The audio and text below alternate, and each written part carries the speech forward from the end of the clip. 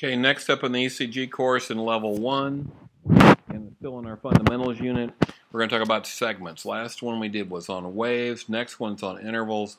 Waves, segments, and intervals kind of gives you an idea of the parts of the ECG that we're looking for, and then uh, we'll try to tie that back together with how is the electrical activity and the mechanical activity correlating.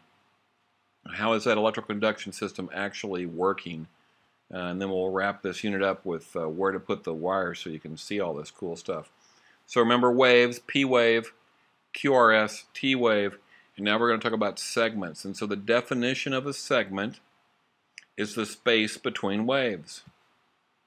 So if we have a P wave and then a QRS and then a T, there's a space between that P and the R wave. We call it the PR segment. Then there's a space after the QRS between the S and the T wave. We call it the ST segment. Now we also are showing intervals on there. Intervals is a separate lesson, but I want to tie it all together on one diagram. So you can kind of already get a sneak peek of what the, the uh, magic points are in the interval lesson. A segment is a space between waves, then an interval ends up being a wave and a segment.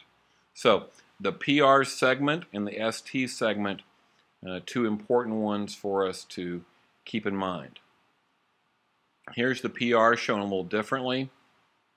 Sometimes it's slope or whether it is depressed off the baseline, below the baseline or not.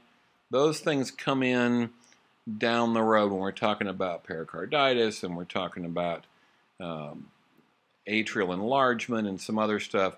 That's totally R-rated right now. Just want you to know where the PR is located. It's typically going to be at the baseline. ST segment, again, a lot of stuff about that in determining whether the person's having an MI or not.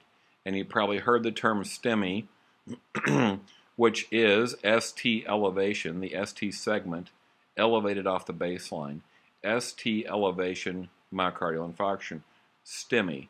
So Anyway, the J point might be a good landmark for you to start learning.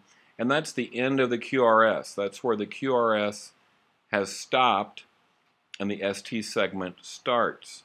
And so that J point is an important point to us when we start talking about ST segment changes and all that stuff uh, toward the end of this course in the ST changes unit, which is the last unit in this course, which is quite a ways from now.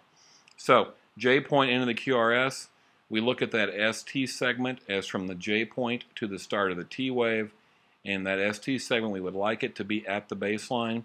If it is elevated, we have ST elevation. If it's below the baseline, it's ST depression.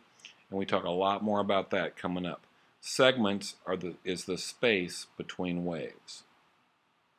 Now you have the TP segment.